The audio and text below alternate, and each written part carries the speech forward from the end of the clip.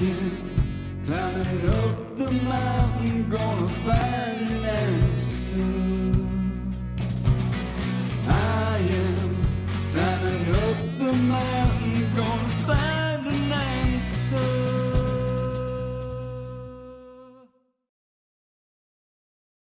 We're here with Frank Verpoorten, the director and chief curator of the Baker Museum. Good morning, Frank, and thank you for joining us. Morning, pleasure, a pleasure.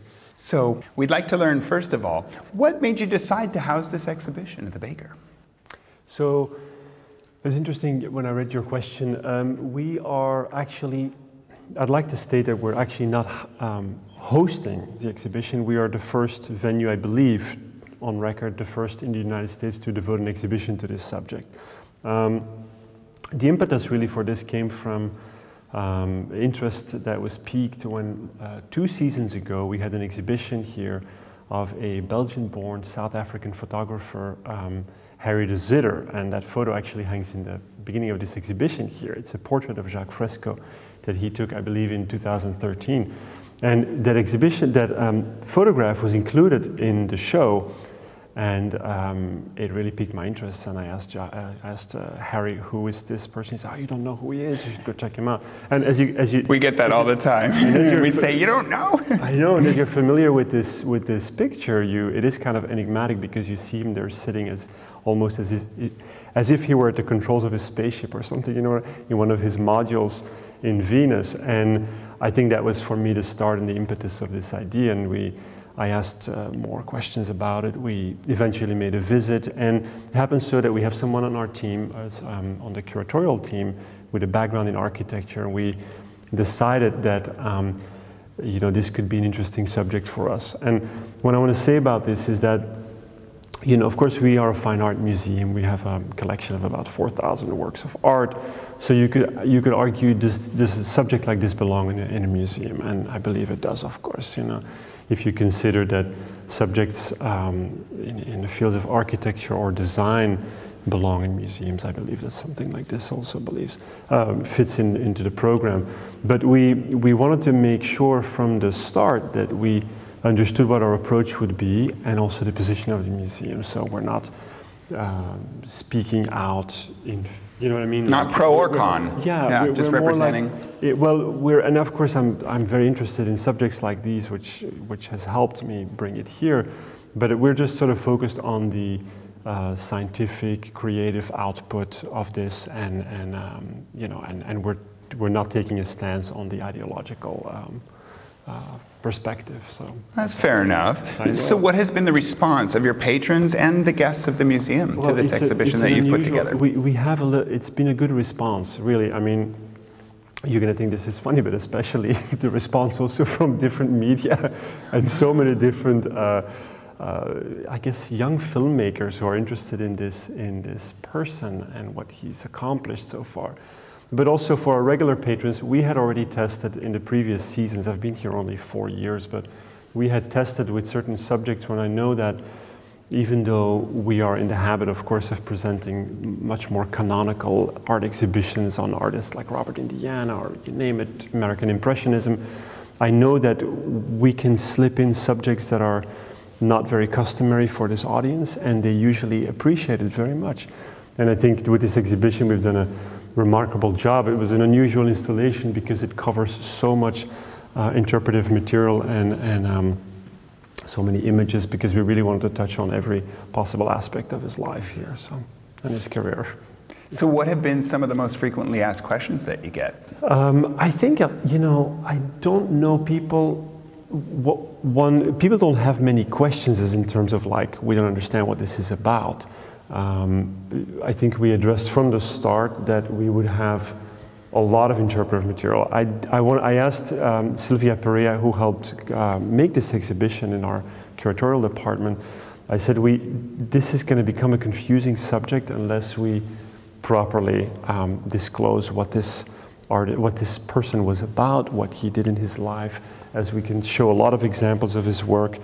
And, and as you know, there's here an, an, an abundance of uh, text in the exhibition, so people can really read. I don't think there's any more uh, questions about what he mm. hopes to accomplish. It's, it's, I'm pretty confident it's all addressed in here. Okay, it's self-evident Anyone covered. who will, who will spend the time reading all the text panels. But of course, um, another example is recently I was here with an architect um, who saw the exhibition for over 20 minutes, was not familiar with this artist, even though he, this architect is in his mid to late 50s. And he said, This is so remarkable. And he was looking at some of the designs, and he said, I can show you um, some architects or designers who are working on, on this sort of uh, concept right now. Like and then, of course, well, yeah, and then, but he's saying, but, the, but, but in Jacque's case, these were designs that he made in the 60s or 70s. You know, so. These are the 50s. These are pretty futuristic, considering we didn't send a rocket to the moon until 1969. For the 50s, these are pretty ahead of their time. But also, look at how, how serious he took himself from the very early days. I mean, this is really remarkable. He knew he was onto something very big, and he, you have to take yourself seriously in every field. So. So, what do you hope to see happen for this prolific body of work? Well, we are, um, we almost, I want to say, for sure, built this exhibition with the intention to travel it. We have, a, we have a history of traveling a couple of exhibitions that we put together here. And I guess, ironically, it's always on like uh, the most unusual subjects that those exhibitions have the greatest propensity to travel to other places. Um, one thing that came to mind was that we are relatively close to the Center for Architecture in Sarasota. They're about uh, two hours up north. And uh, we had spoken with the president before of the Center for Architecture before we even mounted this exhibition, and she had expressed interest.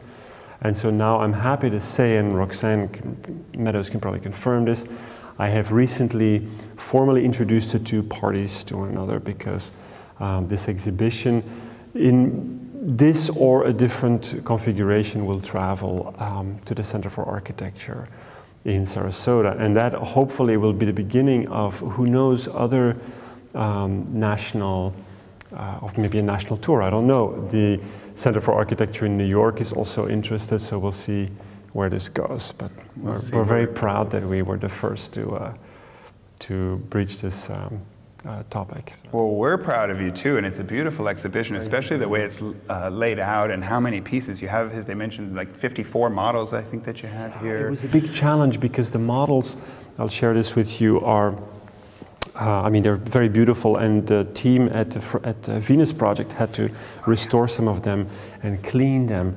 And as you see, they're, they're freestanding here, so we were just, in, we wanted to make sure that people, Yeah. you know, were not, um, you know, in, enticed to lift them up or something or hold them up, and which is why we have this system to sort of keep people away a little bit from, from the models because they're so precarious and so delicate. So. Wonderful. Well, you've put this all together. I mean, like it or not, you're you've, you're you. bringing this work to the aware the awareness of the public. I mean, it, it definitely is raising the awareness about his work, which is wonderful. And and, and on, on, along those lines, what do you feel is the most important thing for us to take away from from what we read and learn here? Well, um, he is really um, such a sui generis character, um, Jacque, that, um, of course, for the many students and children that come through here, just you know, believe in yourself, believe in the work that you do, in the vision that you um, have for yourself, and uh, and go with it. Right, 101 years long, you know. Um, so that's um, that's the message. Let's believe in ourselves, I please. know, finally. Yes, it's a good start. it is. And now, share love. We always love to wrap with a hug. Thank you so much. Thank-